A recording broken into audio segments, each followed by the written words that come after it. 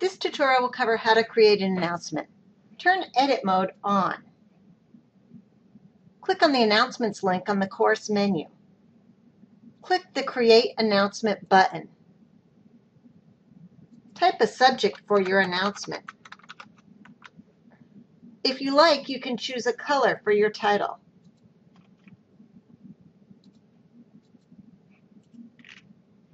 Type the text into the message area.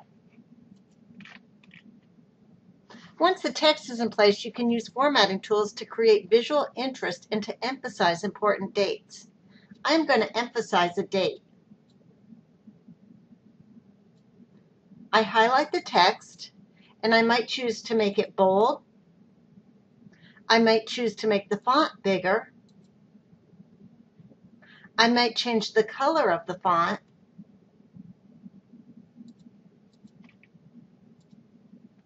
And I might highlight the font.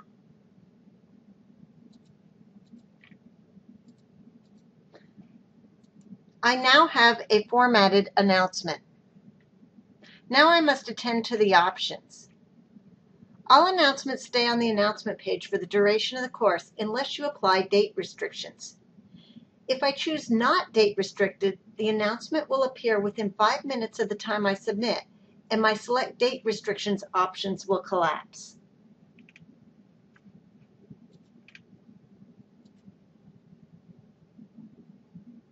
If I decide I do want to date restrict the announcement, I can choose display after, which means the announcement will not display until after the date and time displayed on the screen. If I want the announcement to be invisible to students after a certain date, I can select Display Until, and the announcement will become invisible to students after the date displayed in the Display Until area.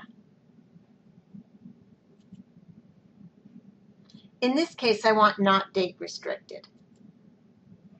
I can choose to select Send a copy of this announcement immediately, which means all course members will receive a copy of the announcement in their college email account when I submit the announcement. In the Course Link option area, you can link to areas in your course by clicking the Browse button next to the word Location.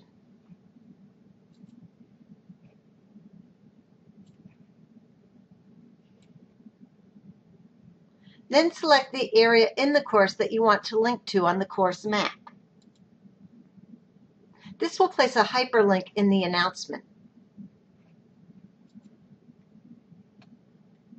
When the announcement is complete, select the Submit button. You can now see I have an announcement with color in the title, formatted font, and a course link to the required textbook. That concludes this tutorial on creating an announcement.